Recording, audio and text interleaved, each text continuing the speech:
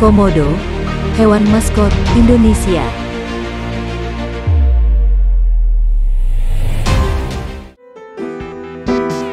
Apa itu komodo? Komodo atau nama lengkapnya biawak komodo adalah spesies biawak besar yang terdapat di Pulau Komodo, Pulau Rinca, Pulau Flores, Pulau Gili Motang, dan Pulau Gili Dasami di Provinsi Nusa Tenggara Timur, Indonesia. Komodo oleh penduduk asli Pulau Komodo juga disebut dengan nama setempat, Ora. Sifat Komodo Komodo nama ilmiahnya Varanus komodoensis, mampu berlari 20 km per jam, yang jantan panjangnya 2,6 meter, dan yang betina panjangnya 2,3 meter, yang jantan beratnya 79-91 kg, sedangkan yang betina panjangnya 68-73 kg. Komodo betina bisa berkembang biak tanpa kawin, pada tahun 2006, sebuah tim peneliti memverifikasi bahwa komodo betina bisa bereproduksi tanpa kawin, yaitu melalui proses yang dinamakan partenogenesis. Proses ini merupakan cara berkembang biak di mana sebutir telur bisa matang menjadi embrio tanpa dibuahi oleh sperma. Air liur komodo sangat beracun. Komodo memiliki kelenjar racun yang mampu menurunkan tekanan darah, juga bisa menyebabkan perdarahan, dan racun komodo mirip seperti bisa ular. Air liur komodo banyak mengandung bakteri, sehingga jika digigit akan menimbulkan infeksi.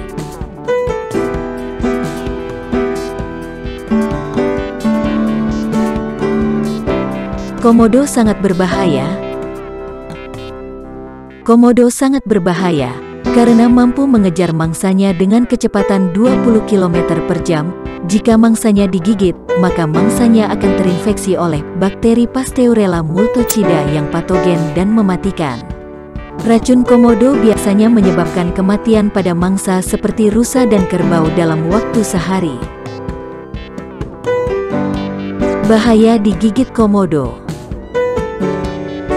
Begitu menggigit, seekor komodo pelan-pelan akan mengikuti mangsanya yang dalam waktu sekitar 24 jam akan mengalami sepsis atau keracunan infeksi darah hingga tewas. Komodo lalu dengan santai akan mulai melahap bangkai sang mangsa tersebut.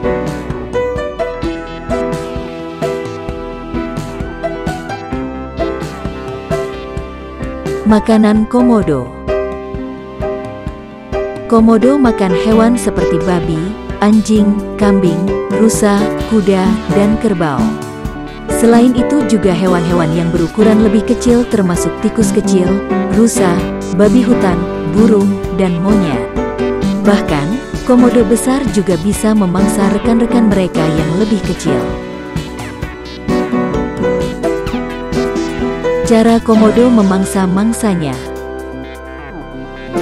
Mangsa yang berukuran kecil, seperti burung atau ayam akan ditelan bulat-bulat. Tetapi, jika ukuran mangsanya besar, seperti kerbau, maka komodo akan mencabik-cabik mangsanya, kemudian akan ditelan sesuai kemampuannya. Komodo bisa melahap satu ekor kambing sekaligus. Komodo suka makan bangkai.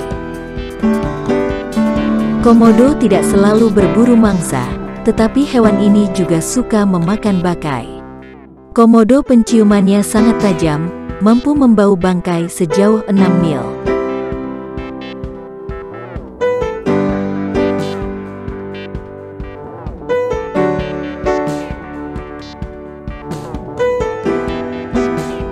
Komodo sifatnya kanibal.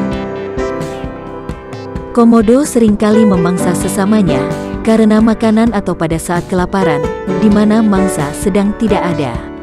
Itulah sebabnya komodo kecil atau yang muda menghabiskan banyak waktunya di atas pohon.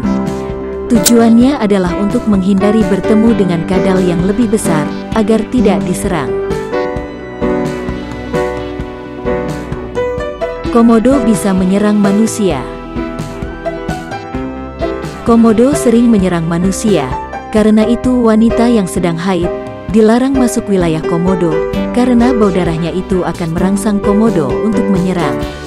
Menurut data Balai Taman Nasional Komodo, selama 10 tahun terakhir ada 15 kasus Komodo menggigit manusia ditambah satu korban meninggal di kawasan Taman Nasional Komodo. Komodo sering diburu oleh manusia.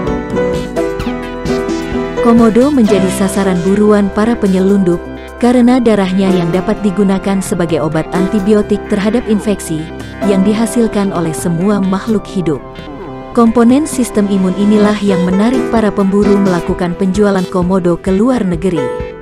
Komodo bahkan dijual sekitar 30 ribu dolar Amerika Serikat atau 435 juta rupiah. Komodo suka makan bangkai. Komodo tidak selalu berburu mangsa, tetapi hewan ini juga suka memakan bakai. Komodo penciumannya sangat tajam, mampu membau bangkai sejauh 6 mil.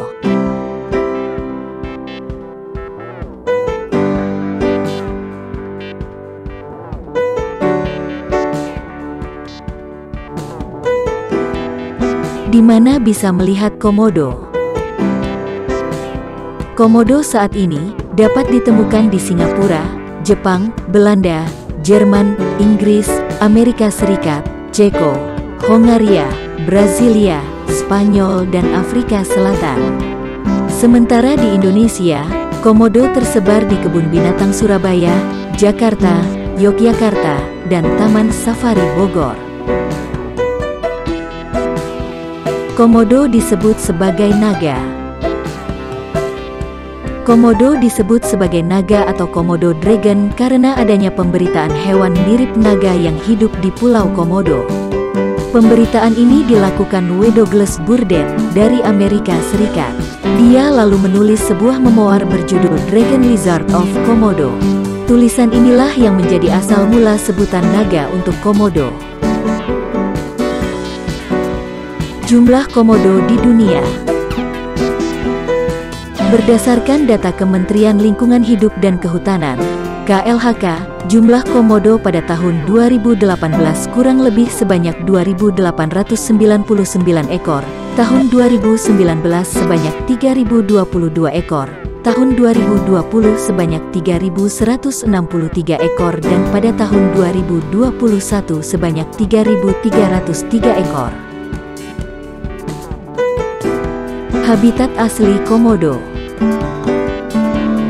Komodo hanya ada di Pulau Komodo, yang terletak di Kepulauan Nusa Tenggara Timur, berada di sebelah timur Pulau Sumbawa, yang dipisahkan oleh Selat Sape. Pulau Komodo dikenal sebagai habitat asli hewan komodo. Pulau ini termasuk salah satu kawasan Taman Nasional Komodo yang dikelola oleh pemerintah Indonesia. Nama Pulau Komodo Berdasar sejarah, pada tahun 1910, orang Belanda menamai pulau di sisi selatan Provinsi Nusa Tenggara Timur ini dengan julukan Pulau Komodo. Cerita ini berawal dari Letnan Stein van Hensbroek yang mencoba membuktikan laporan pasukan Belanda tentang adanya hewan besar menyerupai naga di pulau tersebut. Cara menuju ke Pulau Komodo Transportasi menuju Pulau Komodo dapat melalui jalur laut, darat, dan udara. Anda dapat menggunakan pesawat dari Denpasar menuju Labuan Bajo yang memakan waktu 1,5 jam. Ada juga bus yang menghubungkan Denpasar dan Labuan Bajo, sembari menyeberang dengan kapal feri. Waktu terbaik ke Pulau Komodo Waktu terbaik untuk mengunjungi Pulau Komodo ini yaitu sekitar bulan April sampai Juni. Karena, pada bulan April menjadi waktu terbaik untuk melihat keindahan laut. Langitnya pun cerah, perbukitan hijau nan subur, serta laut biru menyajikan pemandangan yang sempurna untuk melepas penat. Destinasi wisata di Pulau Komodo Aktivitas yang dapat dilakukan di Pulau Komodo adalah 1. Melihat langsung komodo dari dekat, yang didampingi oleh petugas. 2. Bermain kano di laut sekitar pulau yang airnya sangat jernih. 3. Snorkeling dan diving di pantai sekitar pulau, di mana terumbu karangnya sangat indah. 4. Mengunjungi Pantai Pink, di mana pada pantai ini warna pasirnya pink, serta kelima berburu sunset. Manfaat dari Komodo Komodo juga memegang peran penting dalam mengendalikan hewan pengerat dan juga serangga, seperti manfaat hewan bagi manusia lainnya. Populasi komodo nantinya bisa dimanfaatkan oleh warga sekitar untuk mengurangi jumlah serangga dan juga hewan pengerat seperti tikus yang merupakan hama bagi tanaman. Komodo hanya ada di Indonesia. Menurut penelitian, alasan mengapa komodo hanya ada di Indonesia karena memang sifat hewan ini pemalas. Menurut sebuah studi yang terbit di Proceeding Royal Society B, menjelaskan bahwa komodo bukannya tidak bisa menjelajah daerah lain, tapi mereka memang tidak ingin melakukannya karena malas. Itu kata mereka loh. Hewan langka lain yang berada di Pulau Komodo Ada enam hewan langka yang ada di Pulau Komodo 1. Kakatua kecil jambul kuning 2. Duyung 3. Burung raja udang 4. Anjing hutan 5. Penyu sisik dan 6. Kuda liar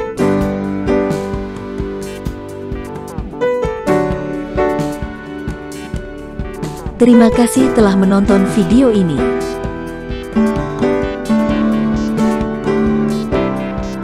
Jangan lupa beri kami like, subscribe, komen, dan share ya. Sampai jumpa pada video berikutnya.